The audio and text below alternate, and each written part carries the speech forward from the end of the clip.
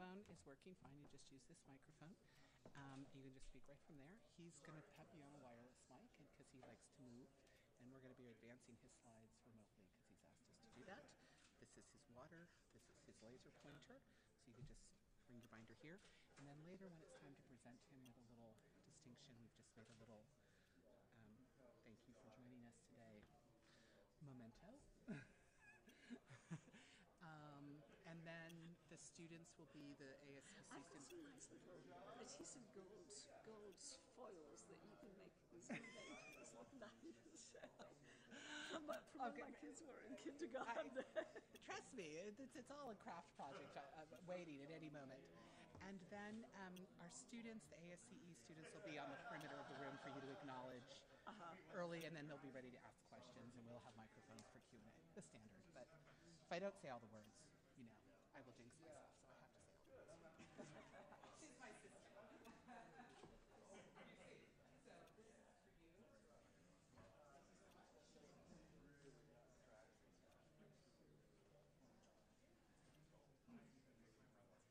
Please come in.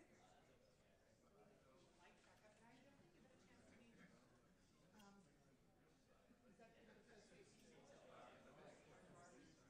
Can I give you a chance to be, um, executive association?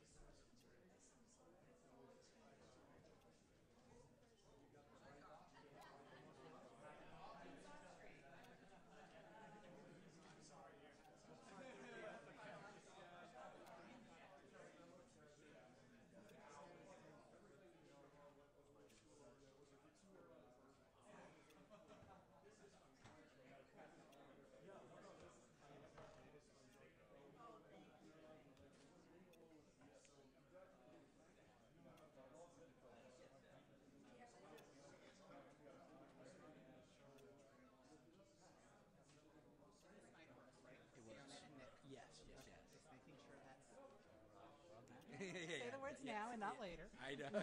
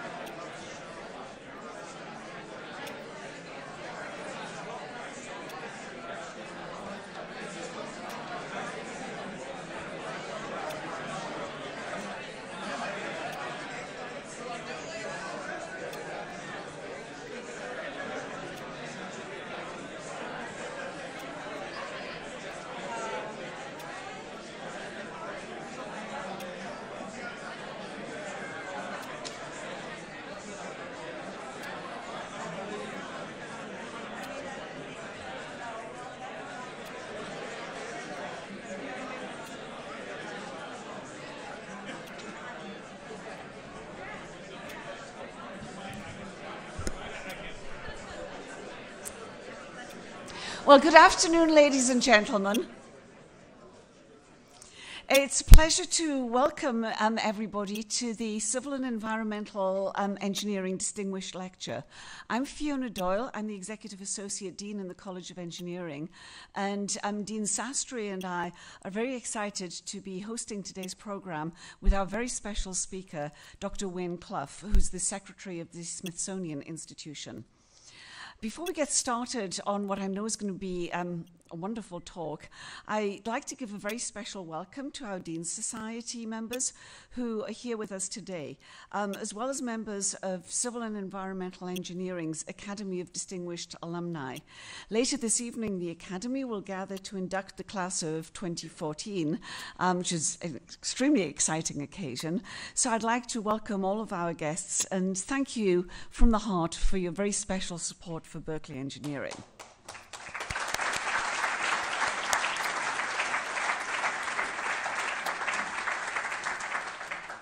And on the subject of thanks, um, in terms of who's doing the hard work. I'd like to also acknowledge our student sponsors who are here. Um, the, the, um, today, helping out with this event is the Berkeley chapter of the American Society of Civil Engineers. And our civil engineering um, department has some very, very vibrant and active um, student groups. So I'm very grateful to um, this particular one for their help with this lecture. So, by way of background, in 2013, the Department of Civil and Environmental Engineering revived a tradition of having a semi annual lecture and inviting a distinguished um, faculty member or alumnus to speak before the campus community. And our guest today, Wayne Clough, exemplifies this vision. Dr. Clough, um, and you'll hear more about him in a minute or two, he's one of our own. He received his PhD here before going on to an accomplished career in research, education, and public service. Um, to such an extent that 10 years ago, in 2004, we were honored to present him with the college's Distinguished Engineering Alumni Award. Today's event is presented with generous support from the Warren A. and Marjorie C. Minner Endowment. Several years ago, the Minners established the Minner Endowment for engineering ethics and professional responsibility. And clearly, the topic of today's talk falls very squarely within that realm. Um, the um, Endowment supports the college in our mission to teach our students about ethics and social responsibility and to spark conversations and critical thinking on ethical issues that face engineering students, as well as researchers and practitioners. So, this lecture is a result of their generosity, and we're very grateful to the Minners for their support. At this point, it's my pleasure to invite my colleague, Professor Nick Sitar, to the stage to introduce our guest speaker. Professor Sitar.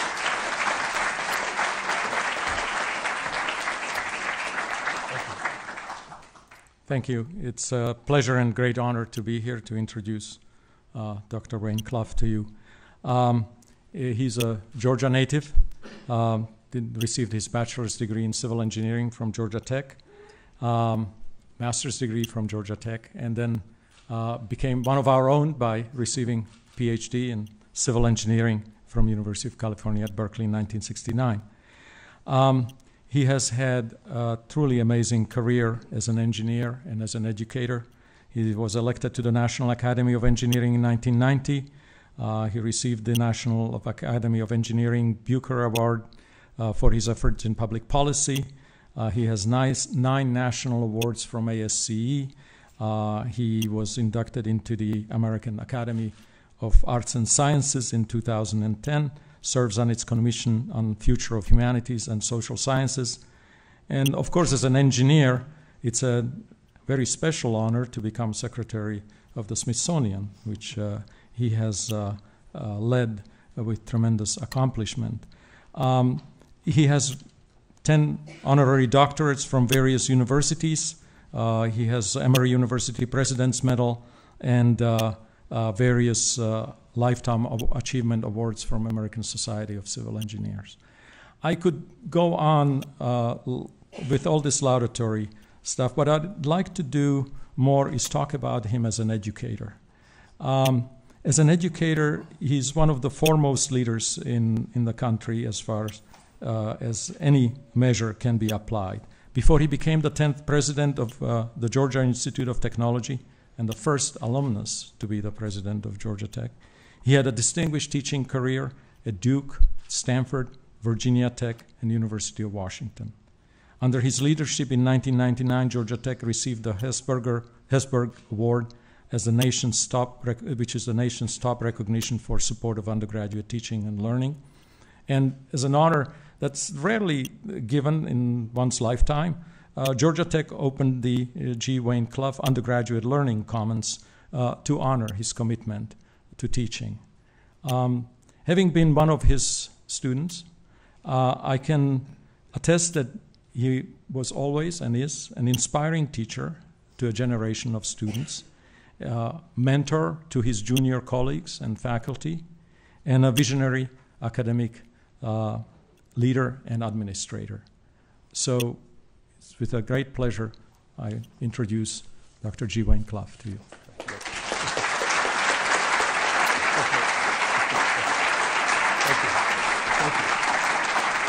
Thank you very much. Thank you, Nick.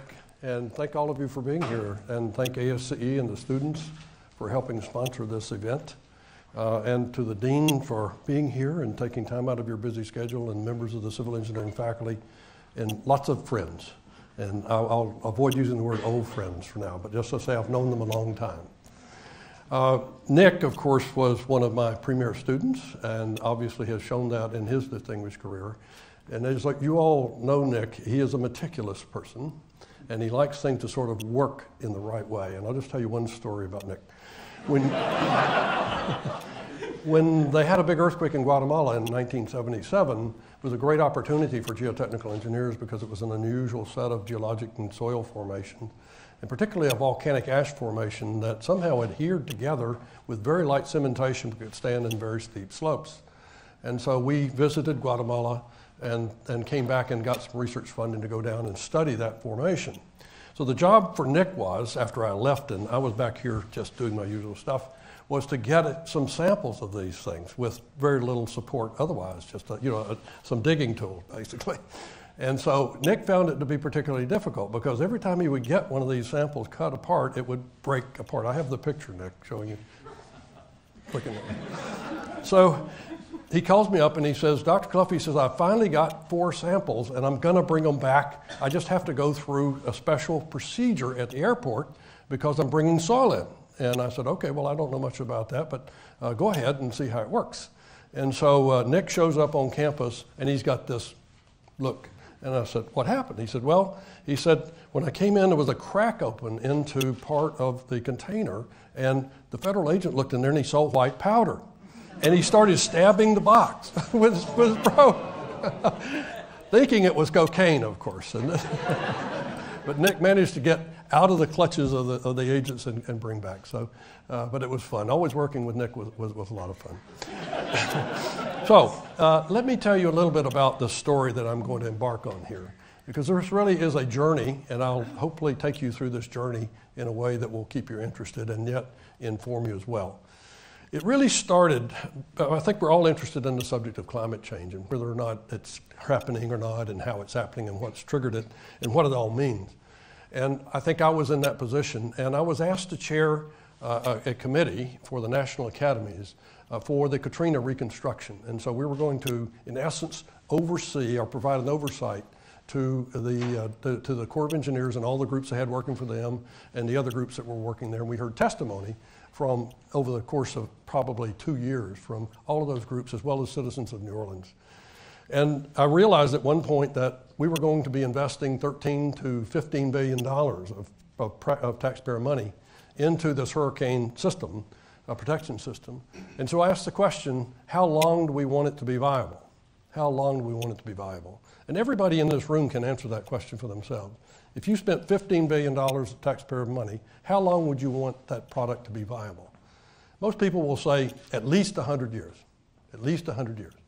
Now, that immediately poses an interesting question because, for one thing, you have to do, simple terms, is how high are the levies going to be? How high are the levies going to be to give protection to New Orleans in the future? And that comes back to climate change.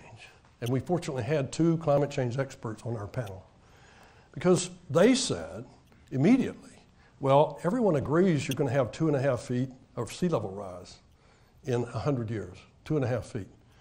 And we looked at other experts and talked to them, and they, some said eight feet in 100 years. That was amazing. It was amazing.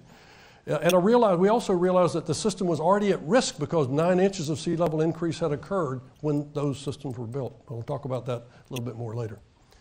Some people will say if you spend that much money, it should be 200 years. Well, where will the sea level be in 200 years? Many people will say it will be at least 10, if not 15 feet higher than it is today. So that's a big ticket item because it turned out the United States government could not afford to protect the system against such a condition. It's amazing when you think about it. It's amazing what's happening when you think about it. So it's an engineering question. And I, w- I left with that stuck in my head for a couple of years. And then I was lucky, enough to become secretary of the Smithsonian Institution, the greatest institution in all the world of its kind. Nothing like it in the world. You own it because about 60% of the funds come from taxpayer dollars. And it's an amazing institution, does history, art, culture, and science in ways hardly anybody else does it. And as I began to learn more and more about the Smithsonian and what it does, particularly talking to their scientists, they have 500 PhD scientists, I would find many of them talking about phenomena they were observing and realize it was related to climate change. And they would say, of course it's related to climate change. These things are changing because of climate change. And as I went around the Smithsonian, I could see these different lenses opening up into this subject. And I thought this is an interesting way to look at climate change because it allows you to see that there's a much bigger context for it than the way I was looking at it before. In addition, it made it interesting to me because the way you can look at climate change through the Smithsonian science is it's an interesting prospect because it's about natural behavior, it's about natural system behavior. And so I want to talk about that in a sense as we go through this talk. So this talk has two parts. The first part is about the Smithsonian view on science on climate change. And realize we're not like NOAA. We're not studying climate change for climate change itself. We're studying systems. And in the process of studying systems, we see climate change effects. And then at that the point when we get through with that, I'm going to stop and turn it into a talk about engineering and how we need to think about climate change and why uh, in regards to our designs in the future. So let's go to the next slide. Next slide. Well, I think our, you know, when you think about climate change, one of the things we know there are some people who, quote, don't believe in it. Fact is, climate changes all the time and always has. Uh, there are people who don't believe humans have anything to do with it. Well, that's a point of view that you might have. But what I'm sensing now, since I've been at this for a long enough period of time thinking about it, is that we're sort of at a tipping point. More and more people are talking about it. More and more people are recognizing the signs because they're getting to be more obvious. The Defense Department is talking about it. They didn't used to talk about it, but they talk about it today, and I'll talk about why that's true in a minute. The Agriculture Department talks about it. A lot of people are talking about today, you can't avoid it, if you will. And of course, the UN had their summit conference recently in 2014, and 300,000 people marked in the streets, marched in the streets of New York. That's never happened before. To bring to the fore this topic of climate change and what might, it might mean for civilization in the future. So we may be at a tipping point in public understanding of the issue. Maybe not. Let's see. Next slide. So I'm going to talk to you a little bit about climate change from these different perspectives of Smithsonian. What we do on land, we have the Smithsonian Tropical Research Institution, which you see here. We have 400 research scientists that work out of Panama and all over the world in tropical research issues. Uh, we do a lot of work in the oceans, and I'll talk a little bit about our oceans research, our reef research, and our species studies and so forth, and endangered species studies. And we run the world's largest astrophysical observatory. Most people don't realize that. And we have observatories all over the world that we operate. We run satellites for NASA. Now, in 2017, we'll launch a satellite called TEMPO. It will be the first observatory in space to look back at Earth and will give us hourly readings on pollution indices in North America. We've never had that before. It's going to be a very powerful tool. I can't tell you anything about it other than that because we haven't launched it yet. So I really won't talk about that today, but just to indicate that that's coming uh, soon. Next slide. What I want to do is I want to go back to what I consider sort of a point where you can say there's a beginning. Something called, well, the Eocene. That's about 55 million years ago. So you had the Paleocene and then the Eocene. And in between, something unusual happened. And scientists call this the Paleo-Eocene thermal maximum. It was an unusual period. And Scientists tell us that this could be an analog to what might happen today as we look at what's going on today. For one reason, the continents were pretty much in the same place that they are today. So that's a sort of a given and, and a fixed kind of situation. Another thing that happened was, even though it was relatively warm to begin with, this was a period when an enormous amount of carbon was vented into the air very quickly. And so it's a subject that's of very strong interest to us because right now we have a very strong increase in carbon in the atmosphere. And we're not sure because we don't know how our systems really respond what will go on. But we know that there's a tremendous period of warming as a result of this over a relatively short period of time. Carbon levels were over 1,000 parts per million. Well, we're now up to 400 parts per million in the Earth today and headed upwards. So we're not there yet, but that's where they were. It was a dis- dissolution of deep ocean chalk, and I'm going to explain that in just a minute. It was an unusual condition. The duration was about 200,000 years, but it really lasted much longer than that. That was the, the PETM lasted about 200,000 years. In addition, there were no continental ice caps because everything melted. So sea levels were about 250 to 300 feet higher than they are today. It was a very unusual period. And we would be concerned if sea level was higher like that. So let's go to the next slide. This is important. You've seen numbers. This is what it looks like. In the PETM, in the northern Canada Arctic, which looks like this today, it looked like this. I like this picture because I grew up in this country. I grew up in South Georgia near the Okefenokee Swamp. I know what this looks like, but I've traveled up here, and it's hard to imagine how this goes to this, but it did. The world changed dramatically as a result of this event. Next slide. Ocean levels were up, as I mentioned, and they were up in this way. You can look at it this way. Look at this North America as it looked at that time about 50 million years ago or so. And one of the things you learn very quickly when you start looking into this subject is there are winners and they're losers. When climate changes, they're sometimes winners, but they're also losers. Now, the most obvious loser in this picture is Florida. underwater, right? But also, Washington, D.C. is underwater, New York City is underwater, the whole East Coast is underwater. The winner is my hometown of Douglas, Georgia, because it's right here. Douglas, Georgia has beachfront property. so there are always winners and there are always losers. Out here on the West Coast, guess what? San Francisco and Los Angeles will be underwater.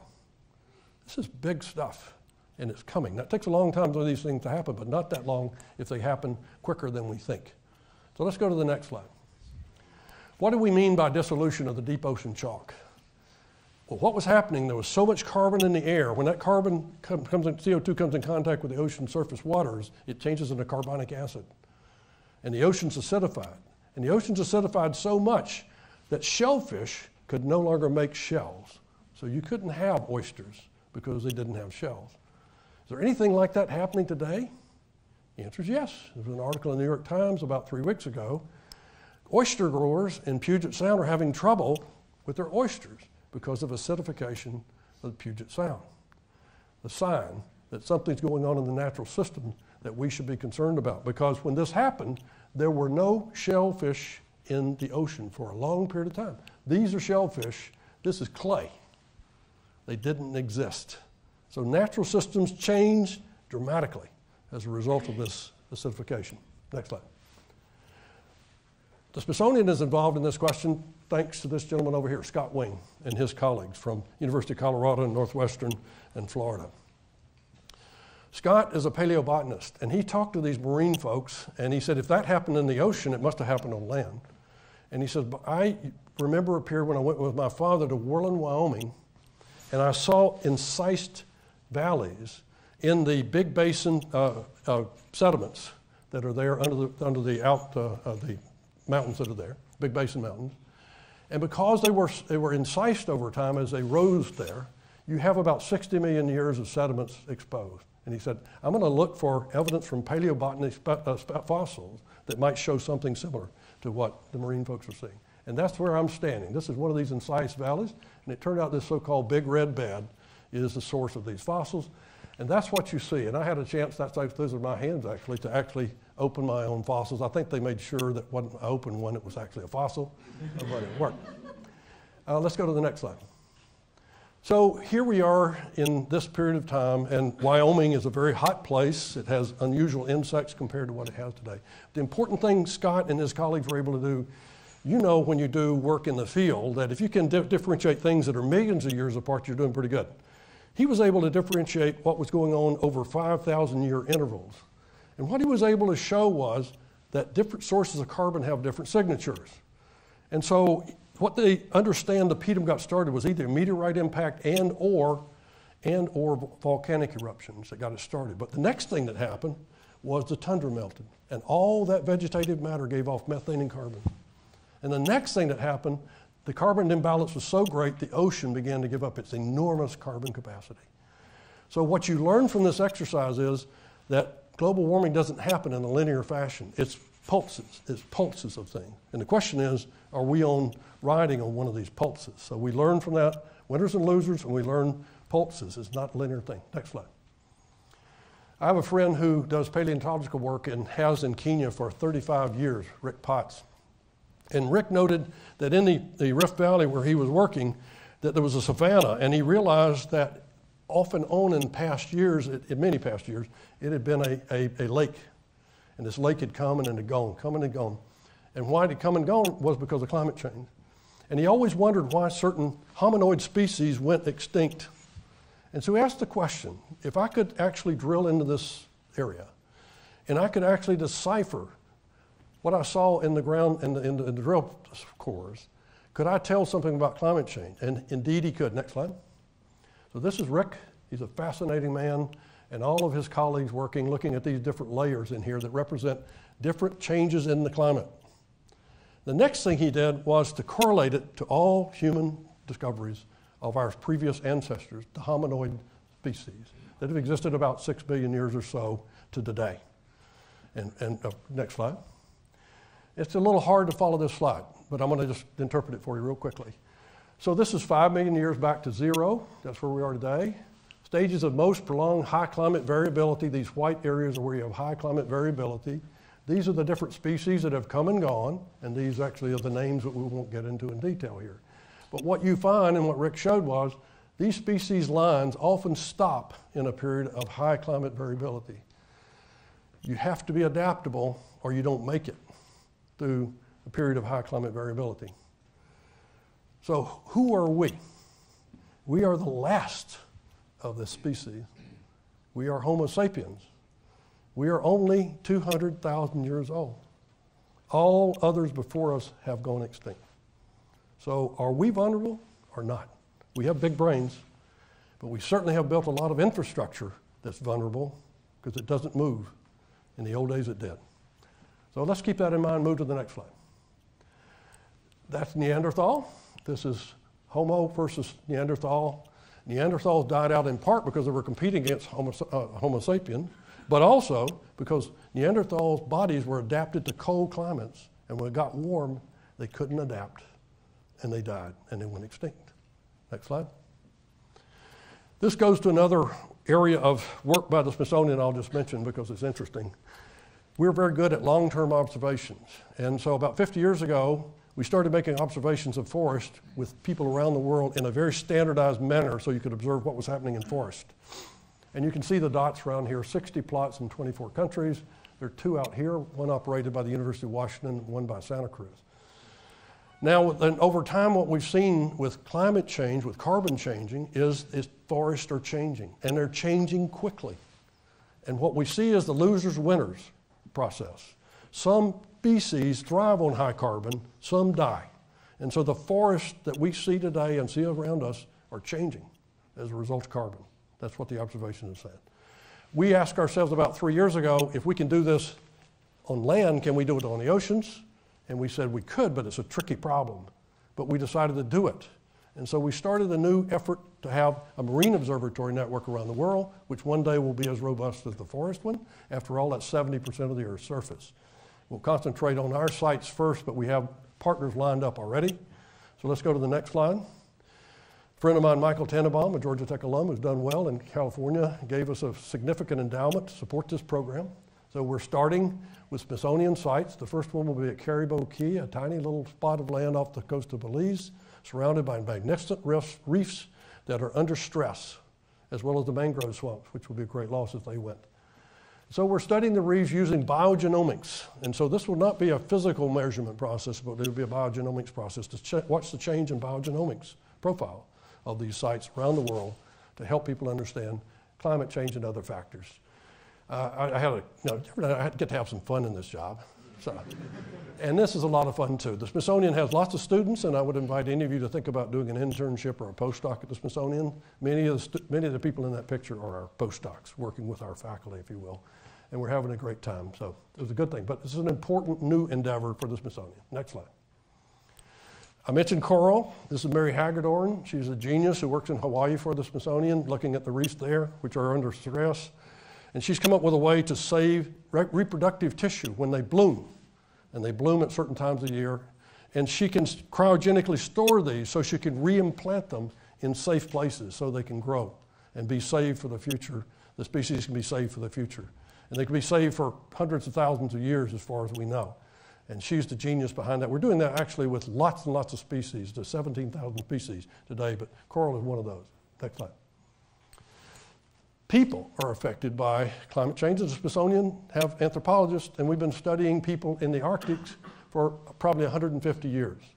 And I had the great opportunity as we were opening a new wing of the uh, American, uh, American Indian Museum in uh, Anchorage to visit with the Yupik people who live on this island, St. Lawrence Island in the Bering Strait, and sit with the elders and talk to them about climate change. They know it because they live it and they are petrified by what they see in the changes. They are subsistence hunters. Let's go to the next slide. They go to sea still in these ships. The only change is they have an outboard motor when they go out. But they can't reach the hunting grounds anymore because the ice is too far away. The tundra, the permafrost on their island is melting. And species are avoiding the island now. And so you have cultures, entire cultures, that are at risk, and they see climate change on a daily basis. So it's happening there. Next slide. Birds. We have the uh, Migratory Bird Center at the National Zoo. We just issued this report just a few weeks ago. The Audubon Society issued a report. 30% of the migratory birds in the country, in the world, are at risk. And a lot of changes that are occurring because of climate, because things are blooming at different times in different places and they're moving around. And you think, well, that's sad for the poor birds, but it's not. It's sad for us. Because birds help forest diversity. They eat the seeds and they drop the seeds. And when they drop the seeds, it helps forest diversity. If they move away from your forest, your forest will decline in diversity and will eventually die. Same thing is happening with pollinators. So we're seeing it in birds. Next slide. We have huge collections at the Smithsonian 138 million objects, 127 million are scientific specimens. Many look like this. And look, they're stored in these kind of racks. That's Jeremy Jacobs, who's a, an amazing person who's taken care of mammals and reptile and amphibian collections for 40 years at the Smithsonian. What Jeremy is telling me here is an interesting thing. These are salamanders from my home state of Georgia. Because the Smithsonian collected them 100 years ago, we can compare to what they look like today. And what salamander uh, experts are seeing today is they're all getting much smaller. And they suspect it's due to climate change. They haven't decided yet. But climate change is clearly having an impact on another element in the natural environment. Next slide. Last one of these. So that's a new LEEDS Platinum building that we built out of our Environmental Research Center, which really focuses on invasive species, marine species. They have a lab right here up in, uh, in uh, Tiburon because San Francisco Bay is the most invaded body of water by other species in any in the world because all the ships have dropped ballast out here. The creatures have been left and have grown and invaded the bay. Many cases, invasive species are more successful in climate change periods than the native species. So, what you're seeing is all the species are beginning to change in the bay and in many other bodies of water. So, the bottom line here is that what we're seeing is winners and losers. We're seeing indications in every part of the natural system that changes are occurring and that the changes are occurring more rapidly. You would think in 50 years you wouldn't see it, but we're seeing it than we ever thought they were occurring. And that when climate change occurs, it occurs in pulses. It doesn't occur as a linear feature. So that's a little bit of an insight into the science of this, and the sci- at least from the Smithsonian point of view. Let's go to the next slide. So that takes us to this idea. Welcome to the Anthropocene, which is the age of humans. Geologists haven't quite settled on this yet. It's still a new term. We're still in the Holocene, according to most. But the fact is, humans are leaving markers in the Earth that will be here for 500 million years. All those atomic tests have left plutonium in the ground. All those plastics that we invented in 1925 are now embedded in the ground. Carbon black is in the ground, it will never go away. So humans are leaving a permanent marker, so we live in the Anthropocene. So that brings us to engineering. This is a National Academy of Engineering study on climate change. It was done about two years ago. It's a fantastic study, four volumes. The last volume is called Adaptation. It talks about causes, it's talked about what we could do about it, but it last says adaptation. Because the chances are that we as engineers are not going to get everybody to jump up and say, I will defend this particular body of water whatever it is we're having to deal with to the very end. Instead, we're going to get them to move in small pieces, small increments. So we're going to have to adapt. So we have, as engineers, that's the way we, we work. Let's go to the next slide. Let's see where we are, just to get a frame of reference, all right? So this is 60 million years ago. This is atmospheric carbon. This is 2,000 up here. This was the PETM that we talked about. This is up maybe 1,500 parts per million. And we're down here. We're down here, which looks pretty good, until you look at the next slide. This is where people are projecting we're going to go. We're, we're up here right now, close to 400. The experts, who I think are, are on target, say this is one emission scenario, depending upon how much work we do to fight it. And if we don't do much, this is another one. That's 900 parts per million by the end of the century. So, what you're talking about is a very rapid rise in carbon.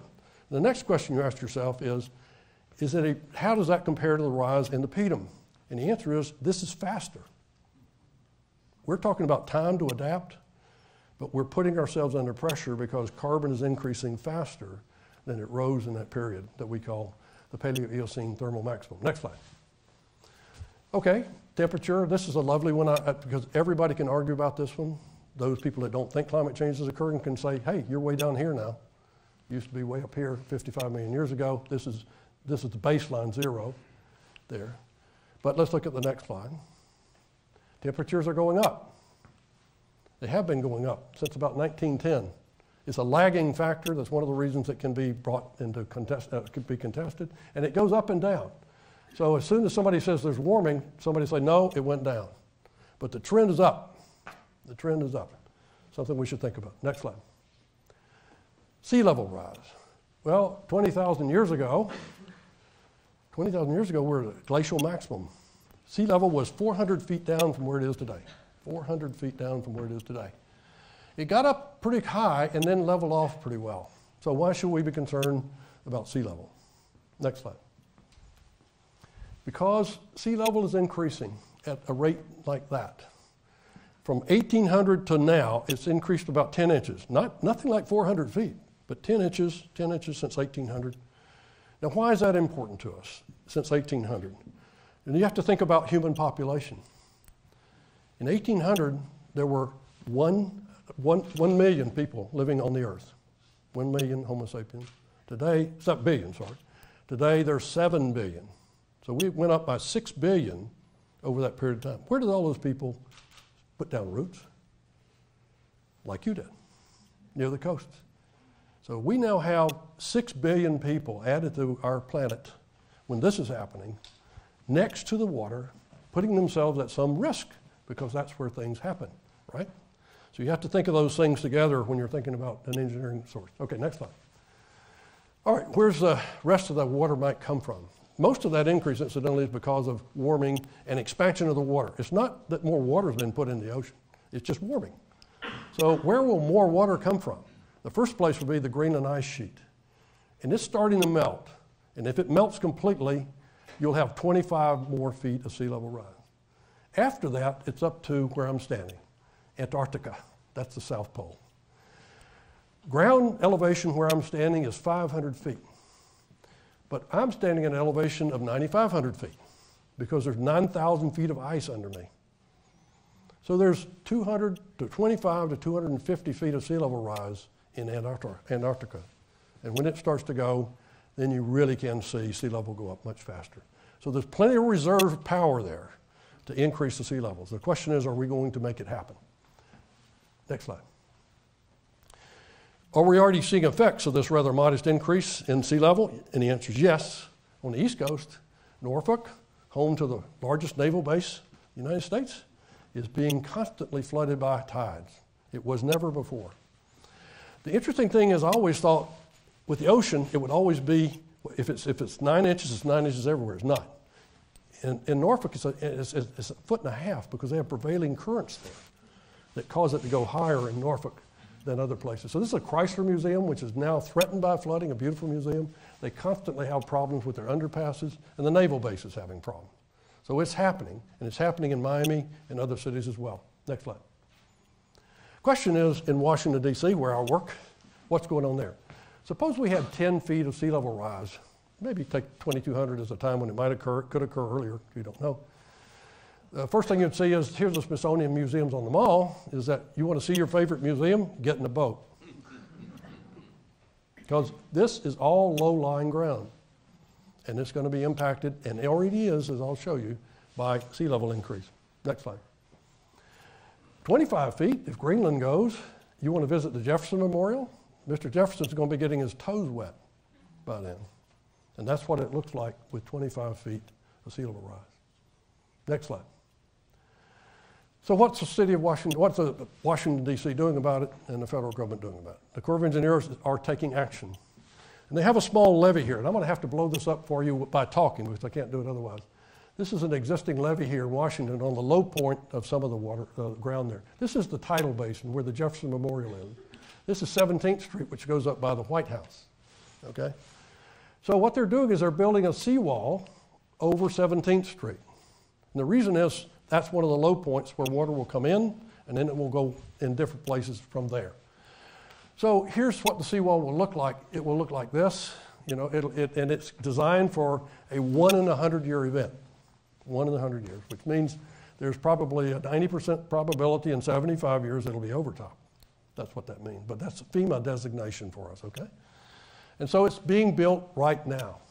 That's the protection we're getting at this point in time. This is adaptation. Next slide. Why are we concerned at the Smithsonian? Here's the tidal basin, here's 17th Street, and here's Constitution Avenue. This is the lowest point in Washington on Museum Mile. So when that water comes down 17th Street, it doesn't go to the White House, it comes down this way. And we've had multiple excursions of water down Constitution Avenue in the last 10 years. And we solve it right now with sandbags. We have some of the world's most unusual and important artifacts in those museums, and they're at risk. This is the new museum, African American History and Culture, which will be completed in 2016, and we're designing it for that one in a hundred year event because we can't afford anything else. But we are working on that. We're recognizing it's a problem. But it's a real problem, and it's a real problem affecting real institutions. Next slide. Now, we've just been talking about the easy stuff. What about storm surge?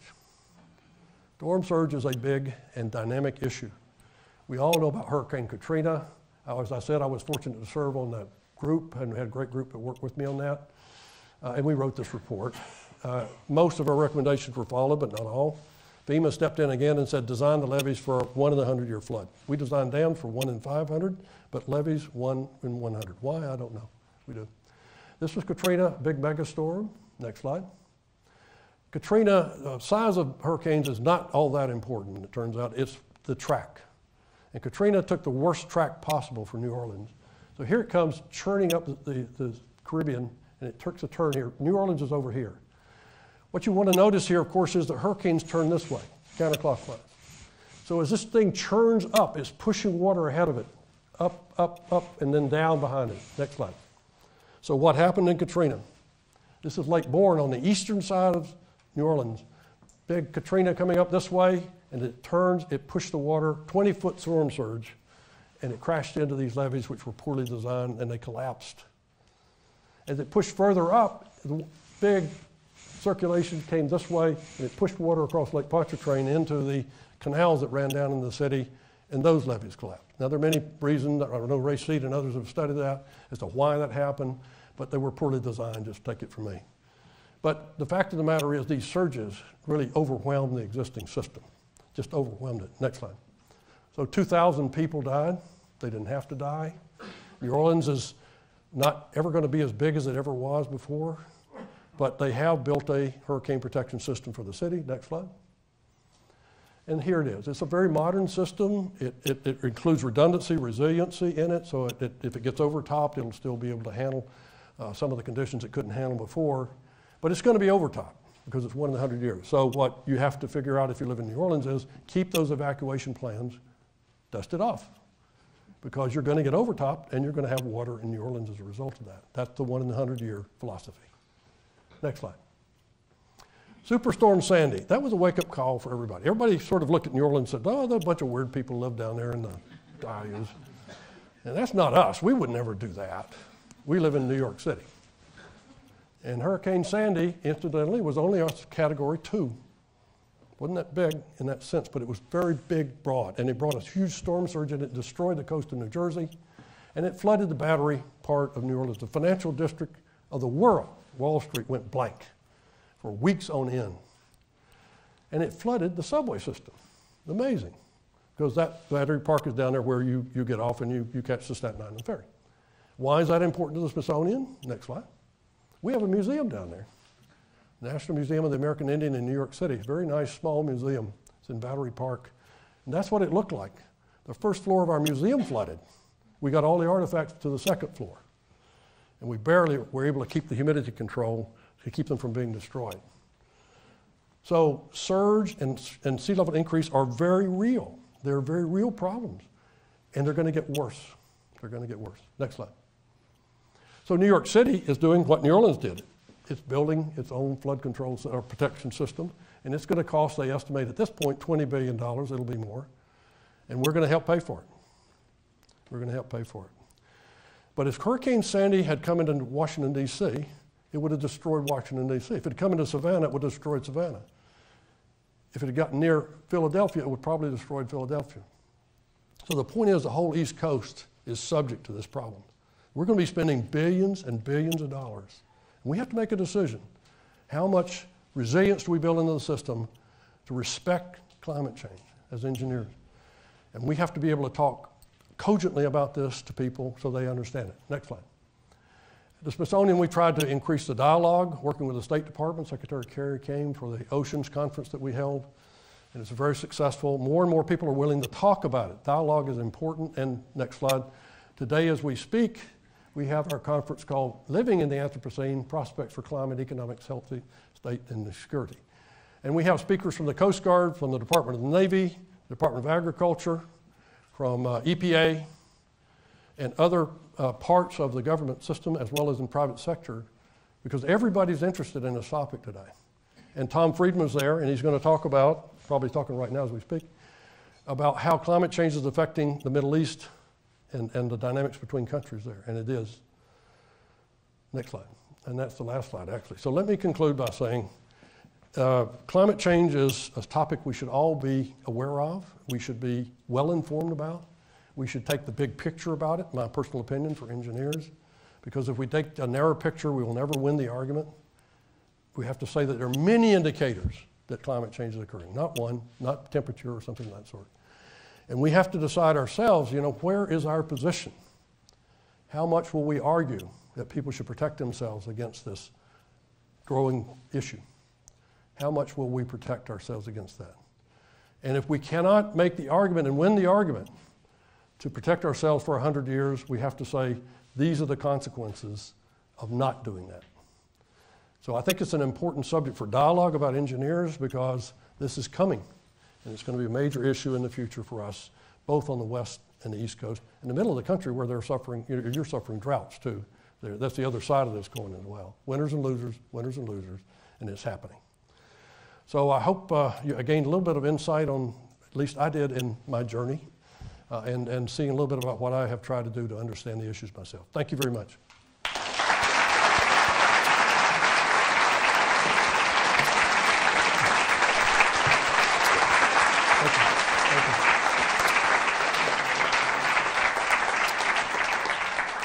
Well, thank you so much, um, Dr. Clough. Um, that was fascinating, sobering, but fascinating. Um, people uh, will be pleased to know that Dr. Clough has agreed to answer questions, and because. Oh, sorry.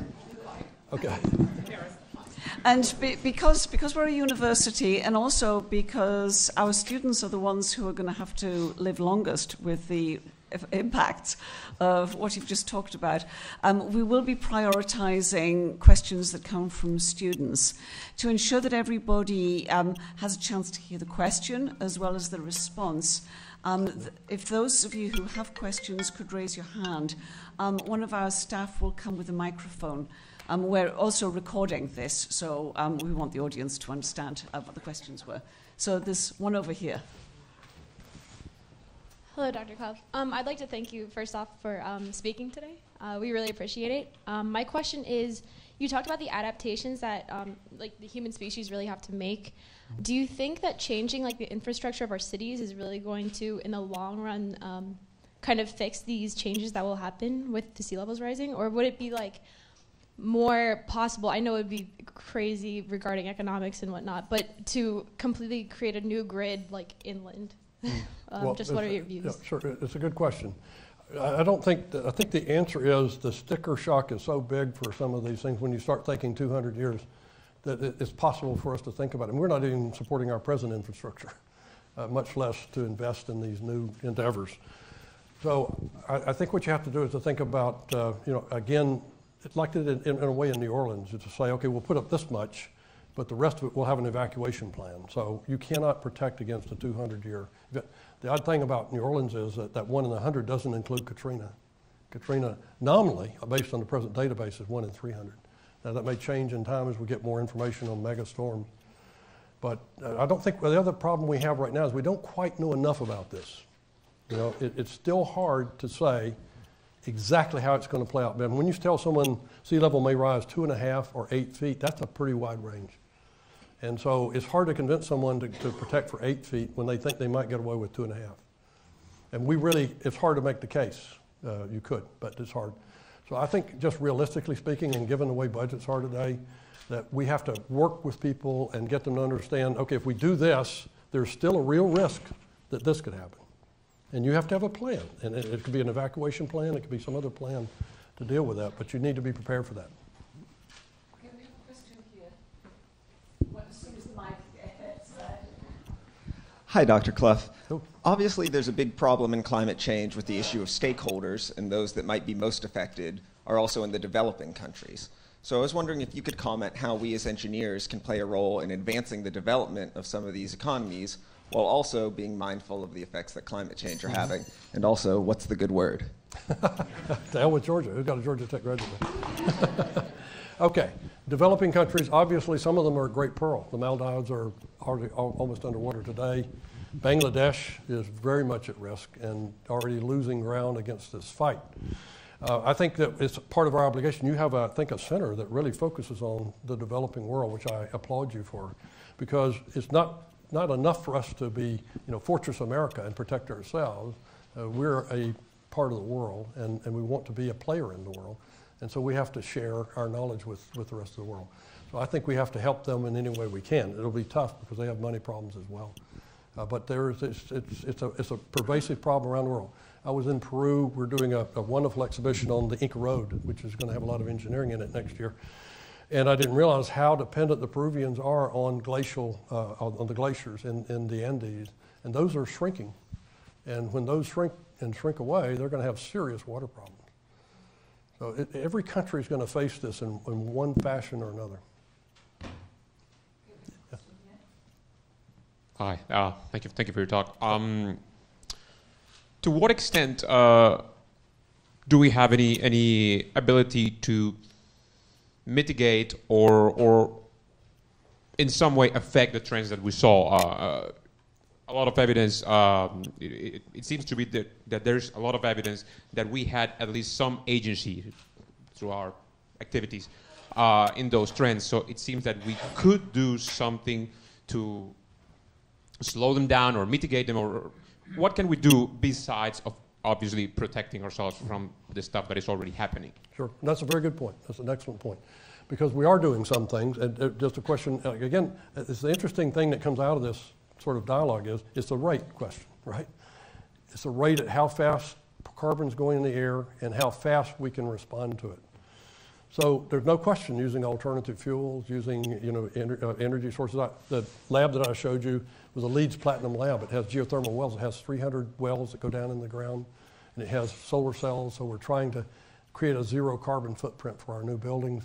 Certainly, uh, automobile manufacturers, in many cases, we're getting with the program there because you're getting electric cars and hybrid cars and so forth. So anything we can do, uh, wind power. I think the other question will be nuclear power. Will that become more in, uh, relevant to us because it's certainly a low carbon footprint, no zero carbon footprint, and we have to do that safely. But I think there are questions that arise. The problem, other thing we have is that wind power and things of that source are local because our grid system's so bad you can't transmit electricity across it because you lose most of it. So we have to learn a lot more. We have to really improve our battery technology so you can store that kind of power. There's a whole range of things that engineers have a big role to play in to help us mitigate this. So we could slow it down and we might counter some of the worst effects. Very good point.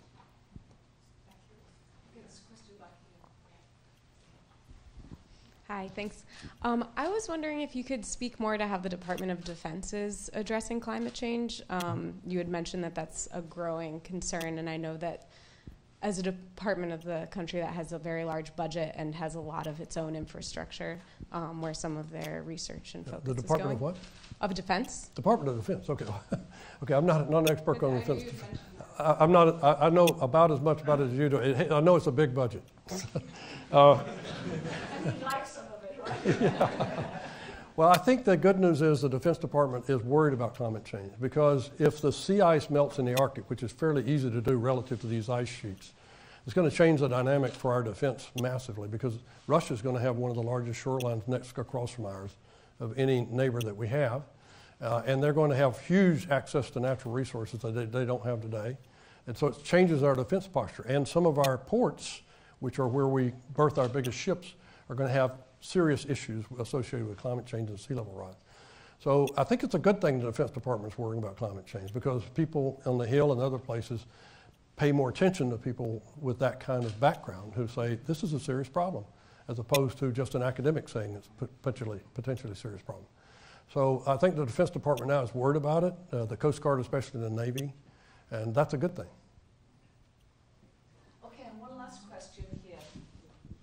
Uh, you mentioned oysters, but I hear that um, um, if we don't do something really quick, we're going to lose 20% of human protein from ocean acidification. Uh, so, Yep. is anybody looking at the engineering of, you know, trying to stop that process? Oh, now say that again. So Uh, st- uh, is anyone looking into the engineering required to stop acidification. ocean acidification? Yeah, I think it's such a pervasive issue, you really can't stop it. I think it goes back to the question the young man asked here. If we can develop alternative sources that don't use carbon-based fuel, uh, incidentally, it's not all carbon-based fuel. We realize in 1800 we started burning forests down all over the world, and that's that's also put a tremendous amount of carbon in the air. Uh, the the problem we have with ocean acidification is it's pervasive all over the world, and there's not really anything you can do about it uh, in any locality that will stop it. It's one of these things that you need global agreement that you have to address the issues. And sad thing is, reefs are very much, you know, people forget coral reefs are animals, and corals are very sensitive to pH and very sensitive to temperature. And so we are at risk at losing a significant, we already lost a lot of our corals to pollution and, and to the warming that's taken place so far. But we stand a chance to lose a lot more of our reefs in addition to our shell, shell, shellfish. So it's, it's a big problem. Well, Wayne, thank you so much for a fascinating afternoon. Thank you. Um, and as I say, it's sobering, but um, I hope that um, the audience is inspired to really realize how much en- engineers can contribute to alleviating some of these um, Yes. very sobering um, realities that we're facing. Thank you very Um, much. By way of a memento of your lecture, we have a certificate for you, um, Mhm. just thanking you for um, on the occasion. Thank you very, very much. I appreciate it. Please join me one more time in Thank you. Thank you. Thank you. Thank you.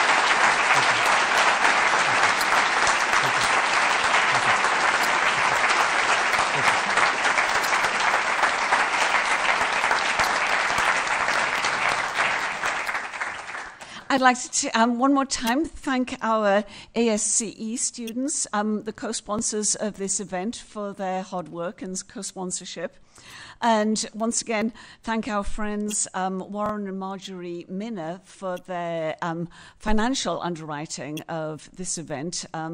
It, this certainly brings home to me our professional responsibility as engineers to act um, in a way that is going to benefit humanity. So, on that, it's my pleasure to invite everybody to retire to the um, Garbarini Lounge, which is just outside, so it's, it's very easy to find, where we have a reception. And this, of course, will afford everybody the opportunity to. Um, talk among yourselves about the event and also um, hopefully catch um, some time with um, Dr. Clough to ask him further questions. So, thank you.